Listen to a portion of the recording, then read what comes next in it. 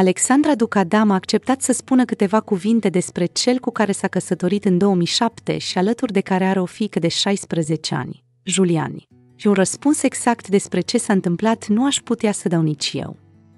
Cert e că toate s-au întâmplat așa. Au venit tăvălu problemele și, de data asta, ne-au luat prin surprindere.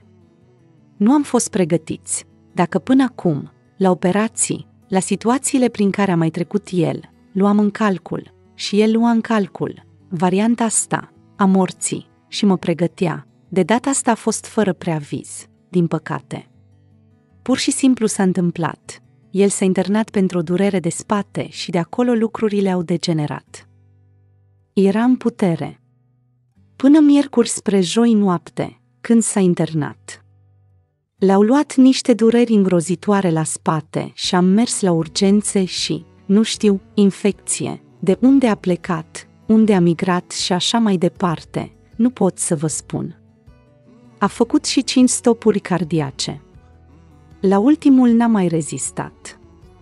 Atât a fost lupta lui, atât a putut bietul de el să ducă, a spus Alexandra Ducadam, întrebată dacă, de-a lungul anilor, heroul de la Sevilla a încercat să o pregătească pentru clipa în care el nu va mai fi, ținând cont că s-a mai confruntat cu probleme de sănătate. Soția lui Ducadam a spus, Helmut m-a pregătit de când m-a luat de soție pentru acest moment.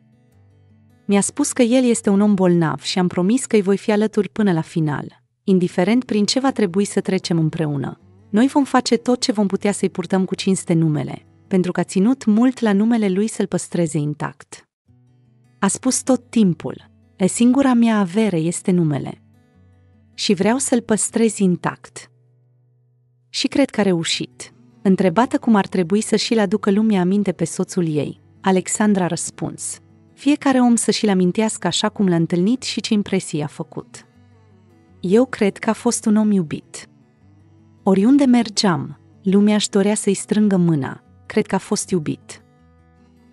Marți, trupul neînsăflețit al lui Helmut Ducadam a fost depus la Arena Națională, unde foștii colegi, dar și alte personaje din lumea sportului au venit să-i aducă un ultim omagiu.